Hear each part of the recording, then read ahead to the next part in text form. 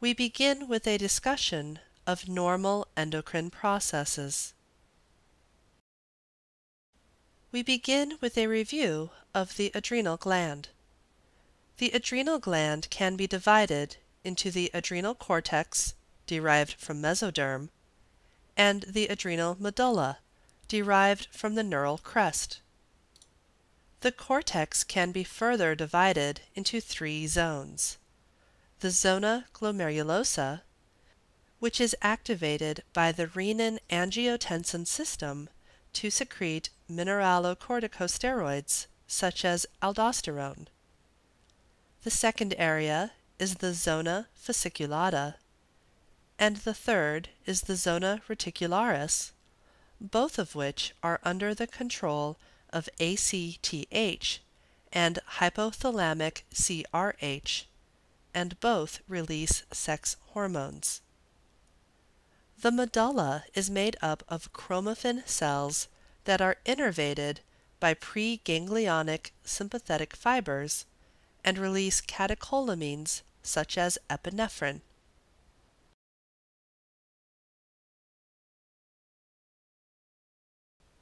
The adrenal glands receive blood from three sources. 1. The inferior phrenic artery. 2. The abdominal aorta. And 3. The renal artery. Venous drainage varies by side, with the left gland draining into the inferior phrenic vein, and the right gland draining into the inferior vena cava. The pituitary gland can be divided into the posterior and anterior segments, each of which carries out its own function. The posterior pituitary releases neurohypophyseal hormones, including vasopressin and oxytocin, that are made in the hypothalamus and transported to the pituitary from where they are released.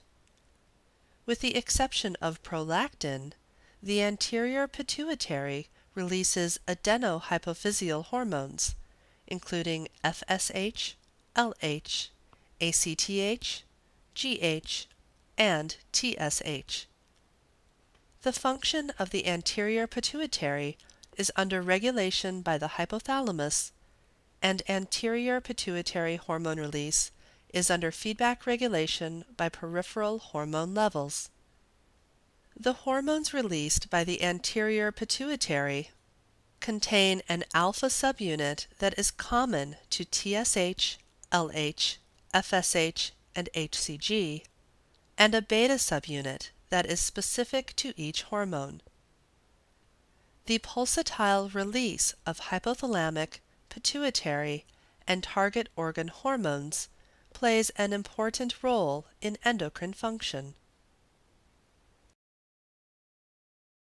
Now let's take a look at the endocrine cells of the pancreas. The pancreatic cells function as a glucose sensor and release hormones to regulate the blood glucose levels. The endocrine cells of the pancreas are known as the islets of Langerhans that are collections of alpha, beta, and delta endocrine cells. The islets arise from the pancreatic buds. Let's take a closer look at the cells that make up the islets of Langerhans. Alpha cells release glucagon, a hormone that antagonizes the effect of insulin by stimulating the hepatic release of glucose. Beta cells release insulin that is under nutrient, neural, and hormonal regulation. The PI3 kinase pathway mediates most of insulin's metabolic effects and the MAPK pathway is mostly involved in mediating the proliferative responses. The principal metabolic effects of insulin are to increase glucose utilization in skeletal muscle, suppress hepatic glucose production, and inhibit lipolysis. A disruption in the balance of insulin and glucagon leads to ketogenesis and hyperosmolar coma. Finally, it is the delta cells that release somatostatin. Next, let's review the actions of specific hormones within the endocrine system. Prolactin increases dopamine synthesis and secretion from the hypothalamus. By negative feedback, dopamine subsequently inhibits prolactin secretion. Clinically, dopamine agonists such as bromocriptine can therefore be used to inhibit the secretion of prolactin, whereas the antagonists, including most antipsychotics, stimulate the secretion of prolactin. In females, prolactin inhibits GnRH synthesis and release, which has an inhibitory effect on ovulation. Amenorrhea is commonly seen in patients suffering from prolactinoma. As we have already discussed, the hypothalamus and pituitary regulate the release of hormones through various feedback mechanisms. Let's summarize the common ones. Thyroid hormones.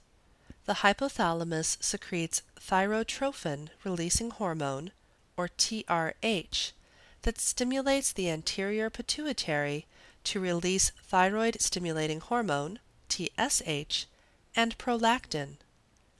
TSH stimulates the release of thyroid hormone from the thyroid gland. The release of thyroid hormone has a negative feedback effect on the anterior pituitary. Prolactin. As previously mentioned, dopamine has a negative effect on the release of prolactin. Adrenocorticotropic hormone, or ACH. Corticotrophin releasing hormone stimulates the release of adrenocorticotropic hormone from the pituitary.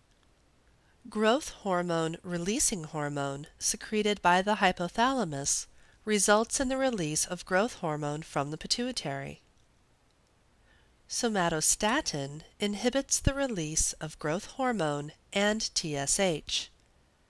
And gonadotrophin releasing hormone, or GnRH, stimulates the release of FSH and LH.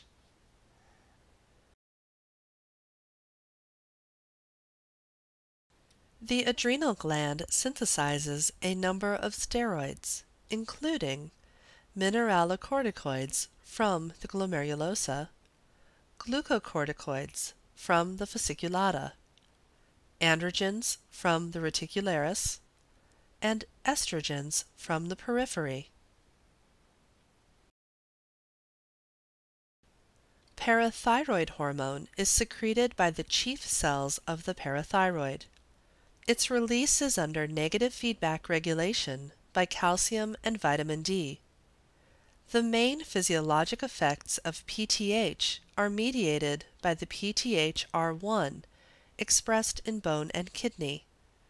PTHR1 binds PTH and PTHRP, a peptide responsible for the pathophysiologic elevation of calcium in submalignancies.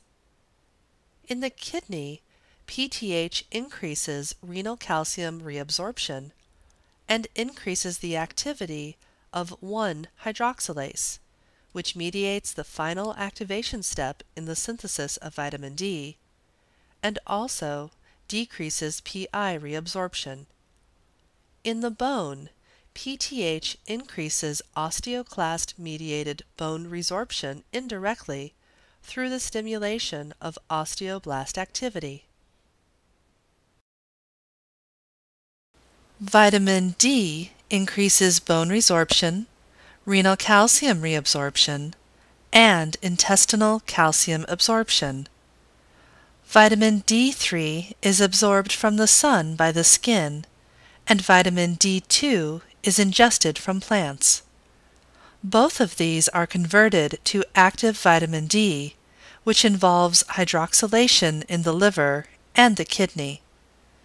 The production of 1,2,5-OH2 vitamin D is increased with increased parathyroid hormone, decreased calcium, and decreased phosphate. Rickets in children and osteomalacia in adults are caused by a deficiency of vitamin D.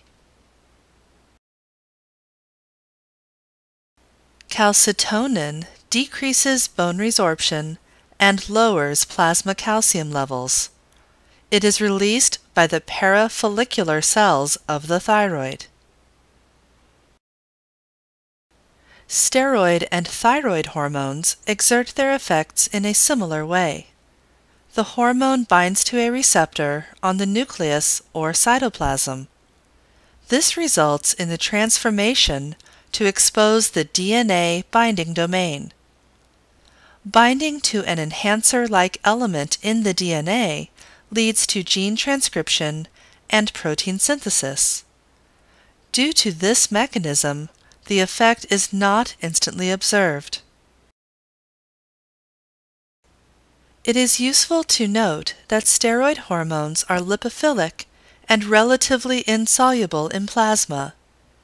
They therefore must circulate bound to specific globulins that increase the solubility and hence allows for the increased delivery of the steroid to the target organ. In addition to being a great target for drug action, this property has a clinical significance. Increasing the levels of sex hormone binding globulin, or SHBG, lowers free cholesterol, resulting in gynecomastia in men. Decreasing SHBG raises free testosterone, resulting in hirsutism. The thyroid gland is regulated by the hypothalamic pituitary thyroid axis. Dietary iodine is required for thyroid hormone synthesis. The thyroid gland produces thyroid hormones through a process of concentration of iodine in the thyroid, iodination of tyrosine residues of thyroglobulin in the colloid space of the follicle, and endocytosis of colloid followed by proteolytic release of thyroid hormones T4 and T3. Thyroid hormones undergo metabolism in peripheral tissues leading to the production of the more active T3 and deactivation of thyroid hormones. The presence of deiodinases and their substrate specificity play a central role in thyroid hormone function in target tissues. Thyroid hormone receptors are located intracellularly, bound to DNA, and alter gene transcription upon binding by thyroid hormone. Thyroid hormone actions are systemic and vital for development, growth, and metabolism. Various organs are dependent upon insulin for their normal functioning.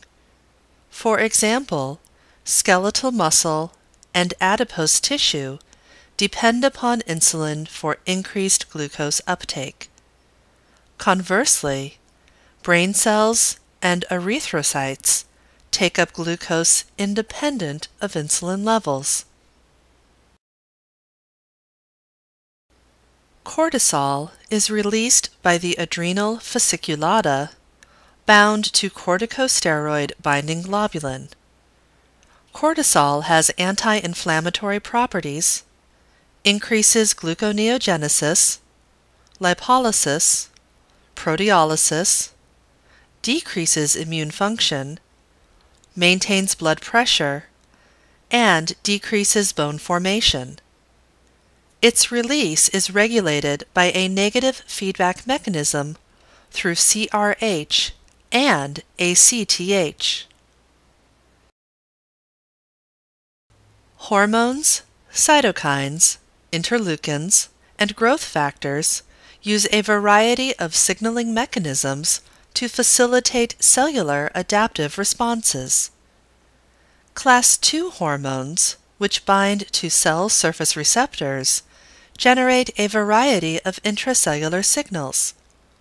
These include cyclic AMP, cyclic GMP, calcium, phosphatidylinositides, and protein kinase cascades. Many hormone responses are accomplished through alterations in the rate of transcription of specific genes.